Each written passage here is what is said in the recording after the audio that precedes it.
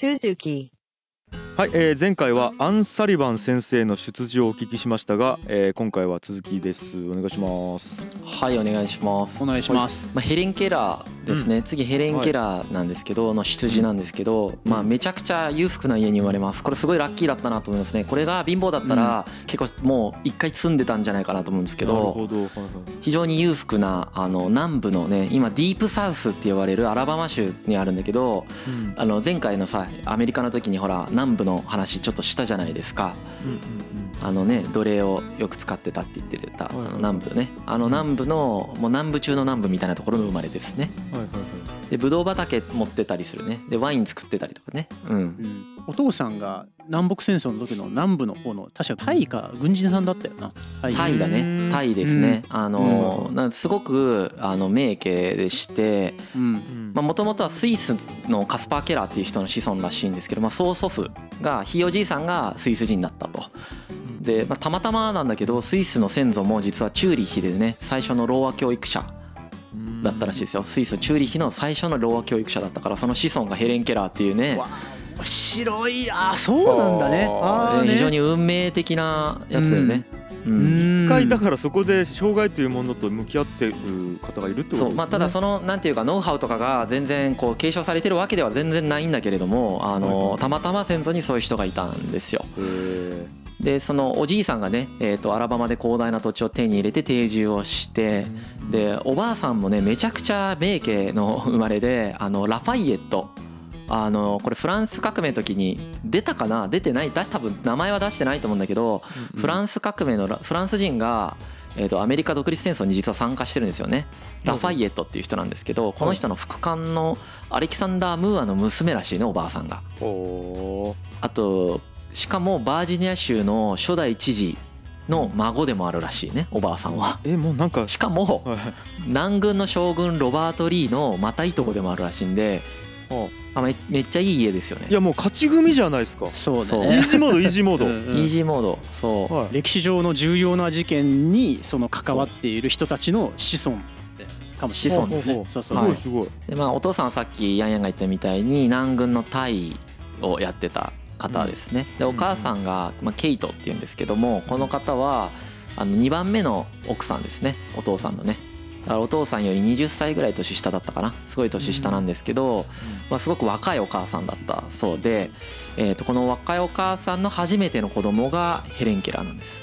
うーん。はいはいはい。でお兄さん腹違いのお兄さんがいますけどね。なるほど。あの初めての子供だったのでで非常になんか生まれた時生まれた時はねもう全く何の障害もなく非常に健康な子供でしかもなんかこう言葉が覚えるのもすごく早かったりとかねしてでもう初めてのね子供ですからもうめちゃくちゃ可愛がられてしかも名家ですからねもう何でも与えてあげますぐらいの感じで 育てられて非常に愛情も注がれてねだよね。育つんですよここまではめっちゃいいじゃないですか。めちゃくちゃいい感じそう。めでっちゃいい。もうママパパとかねたくさん言葉しもうすでにあの1歳7ヶ月の時点で結構言葉が実は喋れてたらしいんですよ。そうだよね。How do you do とかなんか言言ってたらしいよ。うんうんうん。言ってたらしいです。あのバイバイしたりとかねしてたみたいなんですよ。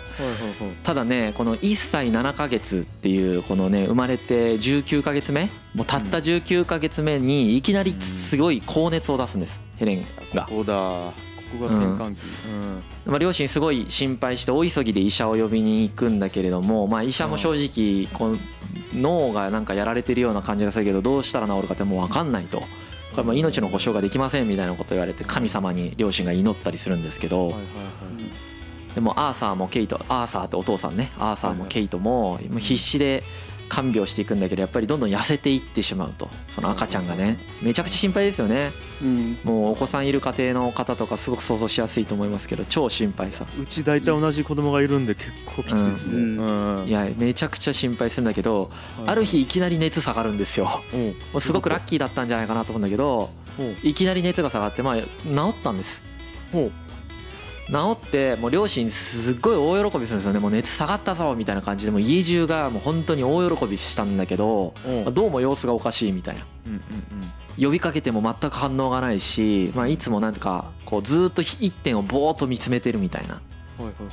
こうおかしいなってなってもう一回お医者さん呼んだら目と耳が聞こえてなくなってますってことを宣告される。あその時の親の気持ちは何だろうね。いやこれはねしんどかったと思いますねご両親は。うん。ケイトとアーサーは。うん。か。じゃあ後天的なんですね障害を持った後天的なんですよ。はあなるほど、そうなんです。でうん。まあ、この目も見えない耳も聞こえないっていう世界に1歳7ヶ月で放り込まれてしまってですね。まあちっちゃい頃はさその自分自身は目も見えないし耳も聞こえないところからまあほぼほぼスタートして自我が芽生える前ですからね。そうだよね。うん。自分自身が不幸かって言ったら多分そんなことないんだけどやっぱその両親が非常にし本当心配だったみたい。そのうん。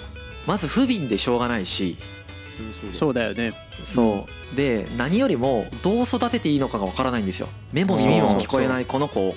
うん。その将来この子はどうやって生きていくんだろうっていう不安をね両親はめちゃくちゃ強く持ってたわけです。うん。もうい今の社会だとさそのうん、こうもう福祉制度とかそうとかさそうね福福祉の施設とかさある程度そのもう障害年金とかあるしね。そうそうそう、うん。昔よりは整っててその、まあ、まだその相談するところとかあったりするしその、いうん。要は同じような境遇の人たちとうん。結構連、ね、横の情報交換とか、やっぱ取りあうん。取ることはできるんだけど当時のアメリカの障害福祉の現状っていうのはもうほまだ始まったばっかりなんだよね。なんなら、うん。なんならもうしょうその耳が聞こえない目目が見えないっていうのはもう知的障害と同じだっていうふうに言われてたんですよ。もう人間に人間になる資格がない外から知識とか入れられない情報とか入れられることができないからもう知知的障害と一緒だよね。もう人間じゃないよねみたいなそんなもう言われ方もされてた時代なんですよ。なるほどな、うん。うん、だからまあ本当に障害に対してのまあ理解が全くいやまだまだね。うん。そのやっぱ社会の役に立つか立たないかでしか判断してないみたいな、まあ、そういう時代に非常にやっぱり不安になって、まあ、どうしたらいいかわからない。まあ、一方でヘレンはすごいすくすくと結構育っていってその目と耳が聞こえない以外はめちゃくちゃ健康なわけです。体も実は強くてあのうんヘレンって。うんで触覚と嗅覚と味覚がめちゃくちゃ発達していくんですよ。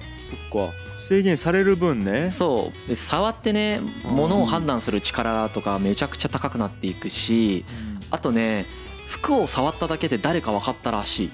でうん。もうなんならちなみにね精神状態が分かったらしい。服触ったらえもう僕らからしたら超能力レベルじゃないですか。そうそう。で床の振動とかでなんか結構いろいろ理解してたらしくて僕こう第六感とか言われるやつこれじゃねえかなと思ってんだけど。なるほどね。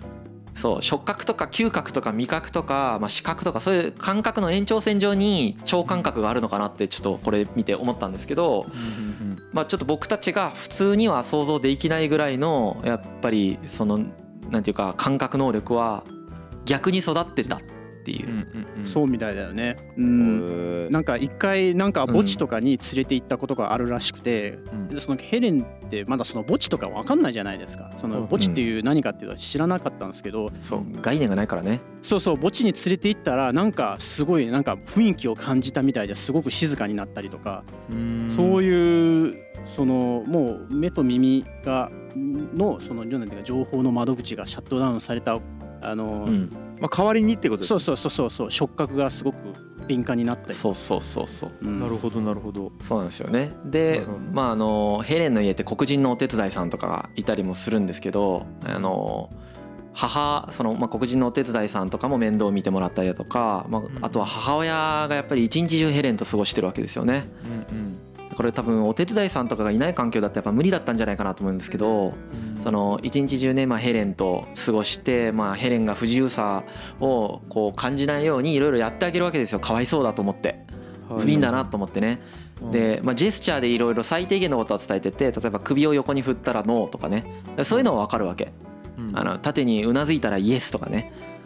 あとこう手で押したらイゴーとかこう引っ張ったら噛むとかまあなんかそういうようなジェスチャーとかあとパン。お腹空いたらパンにバター塗る真似したりだとかね。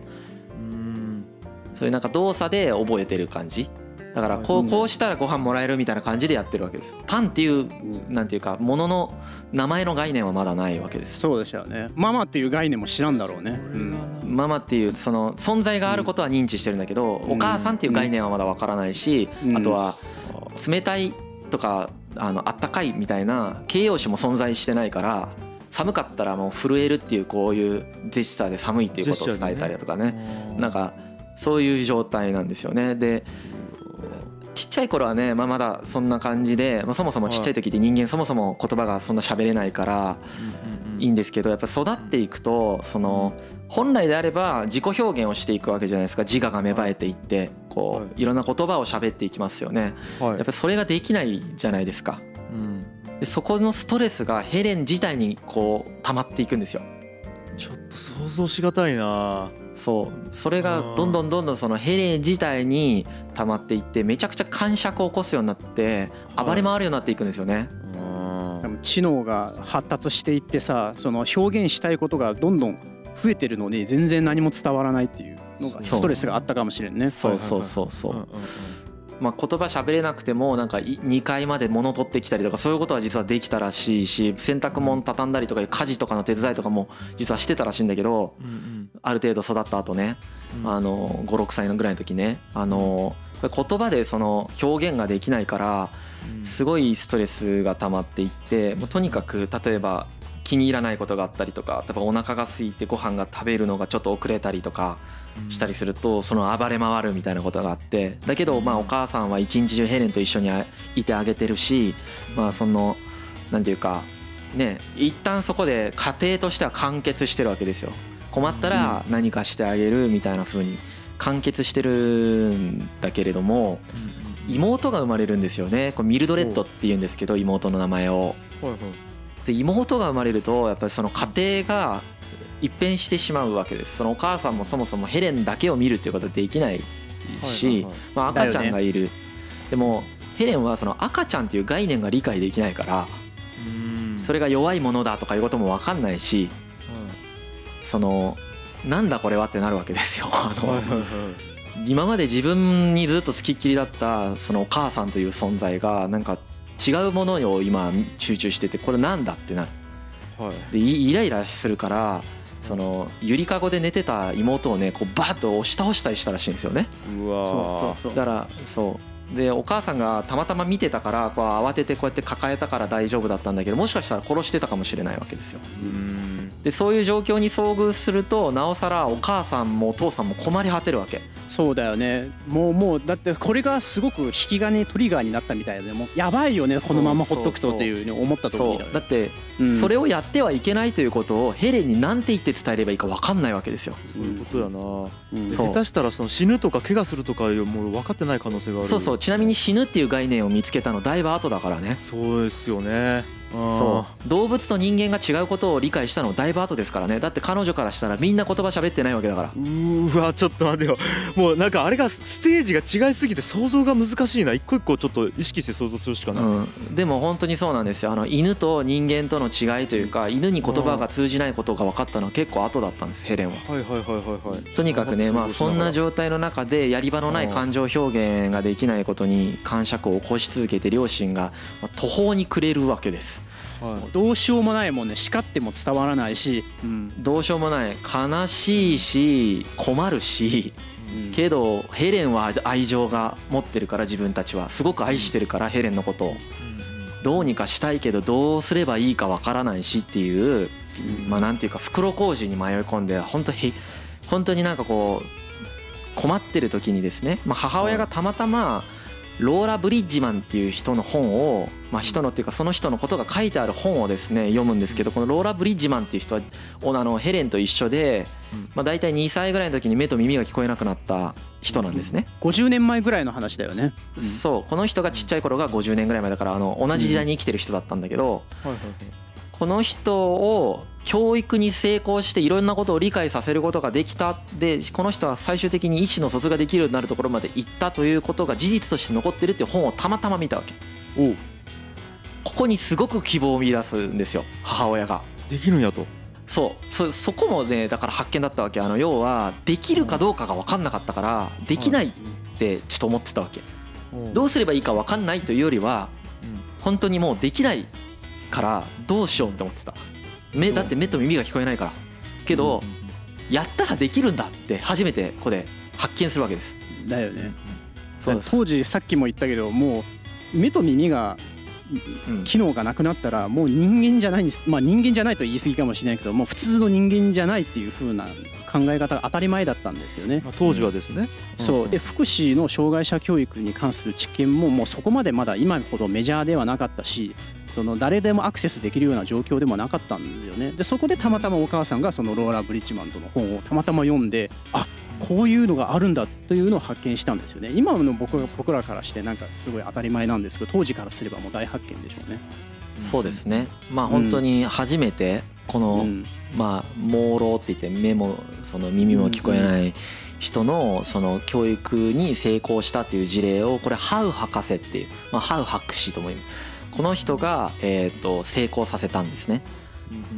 でその人がパーキンス学院っていうまあそのん目が見えない子どもたち用の学校を作ってるとはい。でまあその当時その母親がその本を読んだ当時はその学校の存在ってまだ知らなかったと思うんだけどもあの、まあ、ここで一応事実としては理解しててなんとかできるんじゃないかなっていうその希望がここで見え始めるんですよ。まあ、と同時にですね、まあ、母も父も当然ですけどやっぱその目を治そうとするんですよね目と耳を。特に目を。でいろんな眼科医に連れていくわけです。著名な眼科医いろんな人に見せるんだけどやっぱみんなから「無理ですね無理ですね」と言われると。である日、まあ、その中でも非常に有名なその眼科医の先生のところに、まあ、行った時にそのグラハム・ベルという人を紹介される。うん。うんでこのグラハム・ベルっていうのはあの電話を発明した人。おおベル博士。うんそうなんです。ベルっていう言葉の由来ですよ。そうですそうです。ベルの言葉の由来。まあデシベルとかもこの人の名前から来てるすごいこの人めっちゃ偉人だったんだけど、まあ、この人を紹介されて実はベルってねその電話の発明で有名なんだけど聴覚障害者にとかし、まあのあのあれなんですよね。その言葉の支援とかをしてるんですよ。えー、全然知らなかった。はい。で、えーっとまあ、そこですごく有名な人なんです。この人をその紹介されたのでお父さんがグラハム・ベルに会いに行くんですね。この何かヒントが得たい。だからそれぐらい困ってたんですよね。結構遠くなんですよ。グラハム・ベルがいるとこそこまで、まあ、ワシントンまでね行くわけ。それで、えー、とこのグラハム・ベルと出会うことが運命的な出会いになっていくんですよ。この人にサリバン結果的にこれによってサリバンが家に来ることになります。その話をちょっと次回からしたいなと思いますね。なるほどな。うわ結構すでにジェットコースターみたいな人生やな。なんかうん。いろんなことが起こってますね。いろんなこと起こってますよねわでもなんかさっきも言いましたけど結構想像するだけで難しいでというか想像することがまず難しいですね。ですよね。僕たちは見えますからね聞こえるし。うん。なんかこう当たり前と思ってることが当たり前じゃない世界っていうのを一個一個多分理解していかないと、多分ヘレン・ケラーの、ですよね。うん。感覚の世界だけで生きてるもんな。そうですね。あとはそのちっちゃい頃にやっぱこう言葉を覚える前にこうあのこういう障害持つ人と後でだ持つ人です。やっぱ全然違うらしいんで当たり前ですけど、うーん。なるほどなるほど。いやー、うん。ちょっとじゃあ今回はこんな感じですかね。はい。そうですね。はい。はい、はい、えーじゃあ次回はそのベル博士と出会ってからのお話っていうものをそうですね。していきたいと、はい。はい思います、はいありがとうございました。はい。ありがとうございます。G. Kaye Suzuku.